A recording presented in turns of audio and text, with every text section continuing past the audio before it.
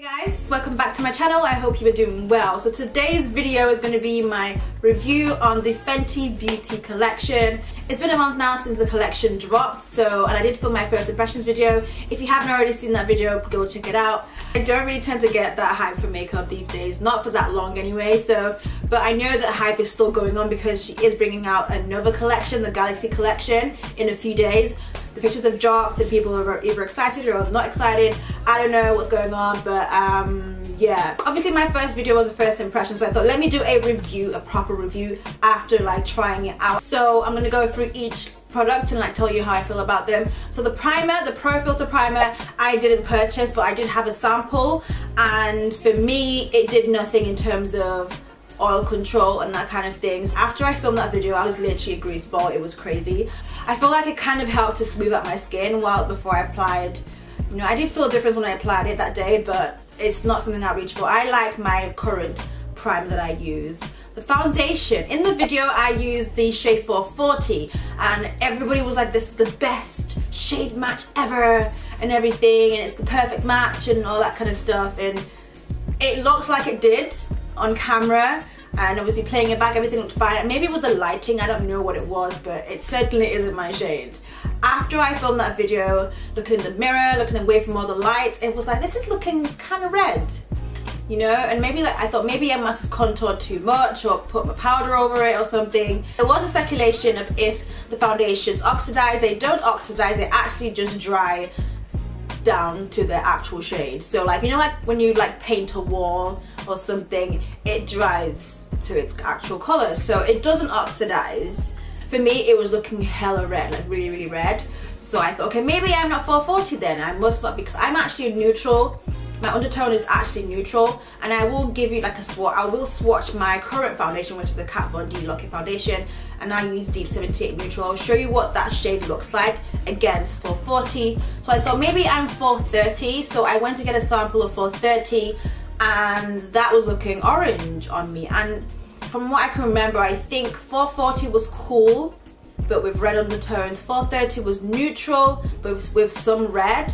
And then the next shade up was 420 was meant to be um, neutral. But I had a I had a sample of 420 and it looked kind of light on me. So I was like maybe I'm not 420 then. I, well I can't be because it looked quite light on me. So at the moment I'm stuck with like what is my shade? I don't have a shade in that range. My shade does not exist so it's like do I just stick to 430 and just be hella orange or just not use the foundation at all so I haven't since then I did try the second time try the second time, you know, full face, not having to contour too much, and it was definitely red. This is the 440. So it's like, I'm definitely not 440. 430, look, 430 looks orange on me, so I'm either in, I'm kind of in between 420 and 430 I need to be more neutral. So I feel like maybe I might be 420 if I mix it with something else I, don't know. I really don't know. So it's been kind of annoying. I've not been able to use it. And I've been so like used to having to mix foundations. I'm just like I'm I'm tired of mixing foundations. I've actually found a foundation that suits my skin tone perfectly matches me which is a Kat Von D. So why not just stick to that hopefully with time she kind of extends her shade range and puts some in between shades like more actual neutral shades because most of her most of her foundation shades most of her dark skin tone shades have a lot of red in them and we're not all red or we're not all yellow you know so there's a lot of in-betweeners you know like me for instance. I'm sure a lot of you probably might have might agree with me. I don't know what your experience has been with the foundation but i have seen a lot of like videos of people using two shades and i'm not here for having to mix shades anymore you know? Having to buy two foundation shades. But anyway the foundation itself if you have oily skin you have to use a primer because it's not gonna it's not gonna work. It does dry it does dry down quite matte um, I think it's meant to be like a semi-matte or velvety matte I don't remember the, the description and the way I do my foundation routine or my makeup routine is I use some powder first and then apply my this is before my prime after my primer I apply powder and then my foundation so my T-zone area and that's what would keep it on for hours. It does stay matte for hours. So the foundation itself was advertised as being medium to full and I found it to be more of a light to medium because I had to you know build up quite a lot and I also found that using a beauty blender kind of soaked up some of the product which meant I had to keep using more like a lot more pump because I thought oh it was it's not applying very well. I think the more effective way of um, using that foundation is probably to use like a a synthetic brush and you only could you could probably like put on like three pumps or four. For me, I'm all for natural glam, but you have to have like good skin. Your skin has to be popping to rock the natural glam look. So if you're gonna go for foundation that's not full coverage, you would have to layer up more, which means you'd you would go through. This is the foundation, by the way. You'd go through the foundation quite quickly. It is quite watery and everything. So I found I found that using a beauty blender, it, I had to use about four to six pumps because it was just it just wasn't covering everything and um, I broken out a lot more so I need to cover those areas and I found it in the first video like my forehead it wasn't covering up those areas properly. And yes it's not meant to, it's not meant to be a full coverage foundation. If you want to have more of an even finish you'd have to layer up a little bit more. So if you're the girl who has good skin or you just don't mind having the not so evenly not so even application kind of thing then this will be a good foundation for you. It's very it's like like I said it's, it is buildable so you can get that full coverage if you want to. I wish my shade was there. It would probably be like something else I would use because obviously it's nice to be able to try different things but unfortunately it's just not. Okay so the next things are the Match Stix which are like the concealer highlight contour shades. So initially I was using latte in the video which I realized was the wrong was the wrong shade for me. I was supposed to be suede, but swatching them next to each other, they don't look that far apart. Suede has a slight more yellow to it, but not as yellow as I would usually use. If you use L.A. Girl Fawn or the Kat Von D Deep 33, 33 I think, it's quite yellow and I, I'm, I'm all for more of the yellow concealer so under my eye. It's supposed to be also kind of like a light coverage, light medium coverage. It's not bad if you're looking for that really light coverage. I actually went back and bought suede, I tried it, it's not bad either. It was actually fine, blending was fine, but when it came to the, the contour shade, which was espresso, I had a little bit more trouble blending that. Obviously I tried it on my you know, cheekbones and then like my perimeter of my forehead. It's a little bit difficult to blend, especially with the beauty blender.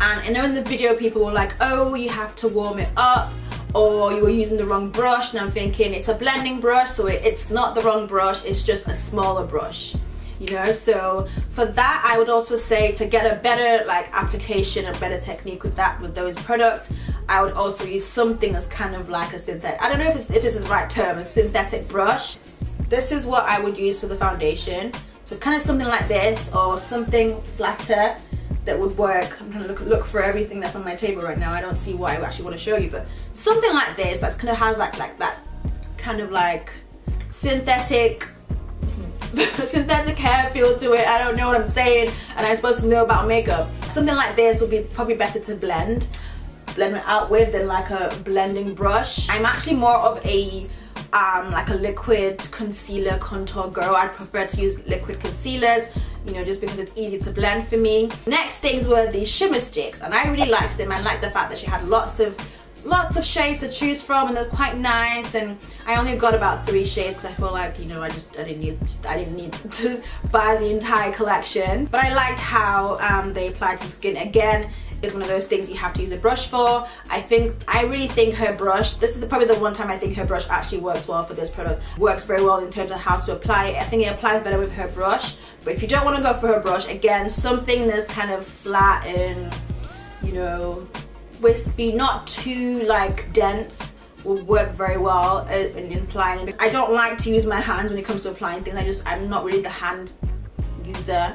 I'd rather use tools, I'd rather use brushes. So again, something that's like kind of light, just gonna give it a nice sweep of colour. So if you want some sort of some sort of glow to your skin, nothing too fancy, nothing too obvious, nothing too brightening, then those ones will go really well. And then she had her duo, her Killawatts. I only got um, trophy wife. I would love to show trophy wife right now but I filmed this video. This is the third time I'm filming this video and uh, I'll put the little clip in in this video what happened. Like you know oh it's kind of broken. You know what this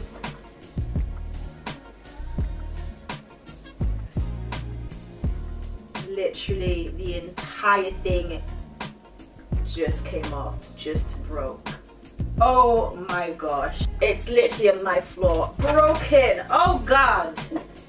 Wow. But yeah, you know what it looks like. And it's still on my floor. So Trophy Wife is gone. Have I reached for it since then? Obviously I have not reached for it since then. It's not your everyday reach for highlight. It's not your everyday, you know, wearable highlight. It's a very it's a very unique color. And a lot of people were complaining about it, but you just don't you don't have to buy it like it's not by force. I think the best way to work with it is use a light hand and you can also mix with the other shade the killawatt shades or maybe the um, shimmer sticks just to tone it down a little bit because it does have that green that yellowy green tint to it which can be unflattering on some skin tones and in some lights. I think a lot of people are literally packing it on like it's not a pack on highlighter it's very subtle it's very it's not everyday it's very unique. And some people try it some people even tried it on their on their skin as well. The last thing is the lip gloss. That was the only thing that I have been using from the very beginning but I've been rocking that lip gloss since I got it. The funny thing is I'm not actually one to wear lip gloss. I, I love my matte shades and if I was to wear lip gloss it would probably be like just in the center of my lip but I've been applying it onto my entire lip so clearly I'm loving it but it's, it's a very nice lip gloss. It smells very nice. It lasts for quite a while as well despite you eating and drinking whatever they are good products but it's a shame the foundation does not match me and I don't I don't know like I said I'm I'm neutral now so being red or being orange just doesn't look flattering on me because of the fact that the rest of my body is a little bit light like my chest is quite light. So if I'm looking red on top I'd have to now make my chest darker it would just look a bit strange. Um so yeah it's it's a shame because like it's been it's amazing that she was able to bring out 40 shades all at once in her first launch but there are still some people who couldn't find their shades so I just I wish I'm hoping she kind of works on the undertones a little bit more and put in some in-betweens. Um, the blot powder was quite good. What's is it the Invisimatte was quite good. It does you know do the do the work but again I have my MAC blot powder which I always go for which I always have in my bag so I always just tend to use that. And but I feel like maybe she made the powder and the paper because of the fact that the, the foundation does get quite oily so it's just a matter of just touching up blotting here and there yeah the new launch is the for the galaxy collection i've seen pictures and i'm just thinking to myself I don't know. I don't know. It's a lot of it's a lot of glitter, a lot of shimmer, like no mattes, no transition shades. I mean, I think it was made obviously to be used over palettes. So I don't see myself putting all that glitter on my lids. I would need something definitely something matte so I would probably incorporate it with another palette or something. The packaging looks amazing I'm not gonna lie it looks very nice. I do plan to get a couple a few of the the new collection. In terms of the lipsticks I'm a matte girl like I'm just if you look at my collection I have a lot of matte or liquid matte. So the glosses look nice. They, they, do have they do look like really nice shades and then the liners the, the glitter liners. I think I'm probably gonna do like a full face Fenty once I figure out what my foundation shade is, I'll probably do a full face Fenty and um, just like to try out like, and incorporate the new collection in that video. I feel like the eyeshadow palette is something I'm gonna put in the center of my lids. Not like I'm not I'm not an all over shimmer, all over glitter girl. I like to put things in the middle, in the center of my lids. That's just how my eye, like right now, this is what I do, the whole halo effect thing. But um, yeah, that's it for the video. I hope this was helpful. If you still haven't found your foundation shade, please don't look at websites or swatches online. Go to the store and swatch them yourself. Make sure you wait for it for a few minutes to dry just so you know how, you know, the shade, what it dries down to. And I hope this was helpful if you haven't tried it out. And I would say definitely go for it if you are that girl who likes that natural look to her you know, not too much going on, but a little bit going on, that kind of thing. But that's it for the video. Thank you so much for watching and I will see you in my next one. Bye guys.